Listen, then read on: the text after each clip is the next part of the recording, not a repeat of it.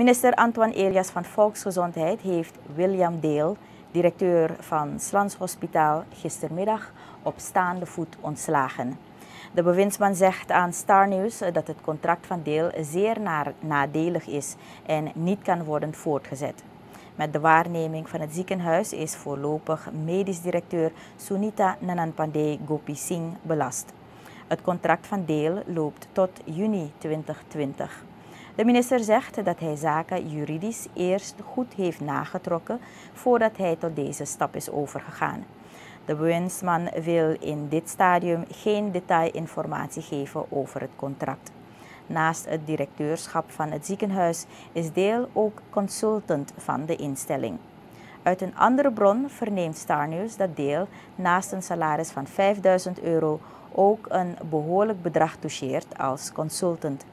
Deel was voordat hij eind 2016 directeur werd als consultant aangetrokken om het ziekenhuis door te lichten. Hij werd door minister Patrick Pengel aangesteld als directeur nadat de voormalige directeur Bernard Abia ontslagen was vanwege wanprestatie.